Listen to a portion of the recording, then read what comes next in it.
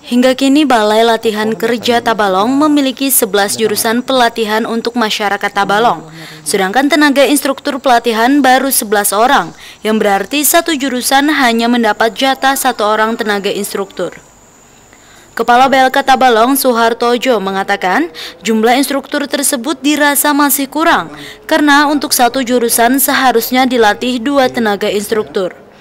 Kurangnya tenaga instruktur itu diakui Soehartojo karena minimnya SDM di Tabalong yang belum mumpuni, sehingga pelatihan belum berjalan maksimal.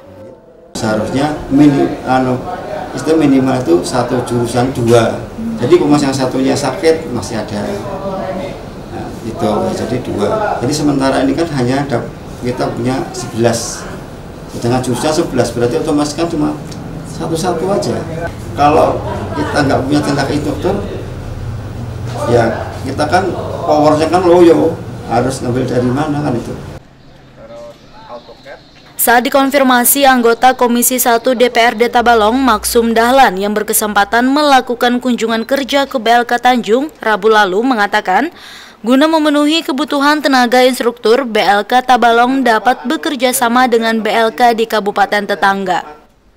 Mungkin kita bisa kerjasama dengan BLK yang ada, khususnya yang baik di kabupaten tetangga atau di provinsi.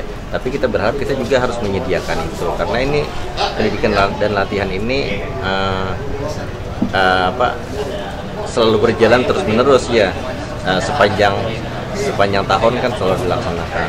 Nah, tadi disampaikan bahwa sudah diusulkan ada tiga orang uh, untuk uh, instruktur atau CPNS ya namun Maksum juga menambahkan, pihak BLK Tabalong juga harus tetap menyediakan tenaga instruktur yang berkompeten untuk dapat bersaing di dunia kerja.